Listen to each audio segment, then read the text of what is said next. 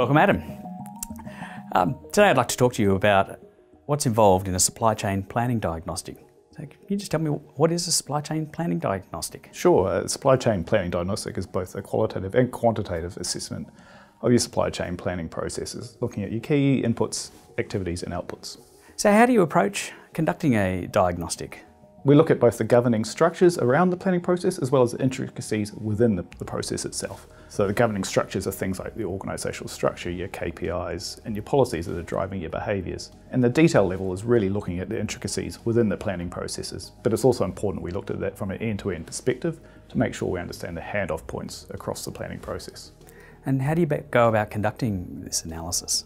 Well, there's many ways you can conduct that, from a light touch health check to a more detailed capability assessment to a more data-driven modelling exercise. What I've personally found one approach that works really well is a combination of a bit of both. So you might start with a qualitative assessment of the business and then test or back up your hypotheses with a modelling exercise. This can really help drive benefits, identify opportunities, and also get the change movement starting in the business. Can you um, dive into a bit more specifics around the certain areas that you look at when you do your diagnostic? Yeah, sure. So one approach we, we often employ or take is the people, process systems and data approach. So in each of those areas, we assess it in terms of the ecosystem and the uh, key inputs activities within that area. So take people, the people area, and we'll look at things like your KPIs. How are the KPIs driving behaviour?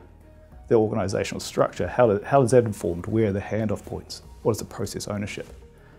And as well as things like workload. Is the workload appropriate for the team members? Is there an imbalance or mismatch across the planning team?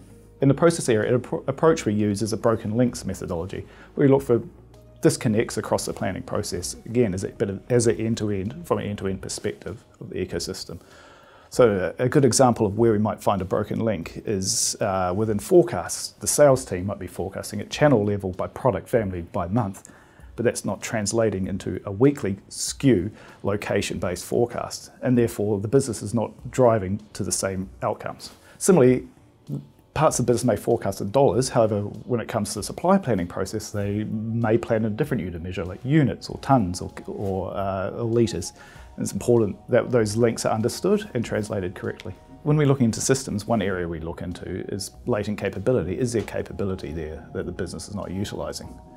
We also want to look at how the systems are interfacing to each other. Is there any disconnects there?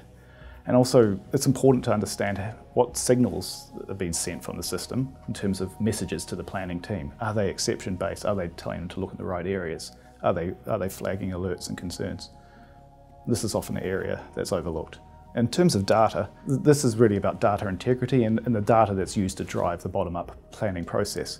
Where this is poor, this can translate not only to poor planning outcomes, but poor reporting for senior management and S&OP as well. So once you've completed your diagnostic, Adam, um, what uh, typically do you then deliver back to your, uh, your clients? What we'd like to do here is to bring it together and build a practical roadmap for supply chain improvement.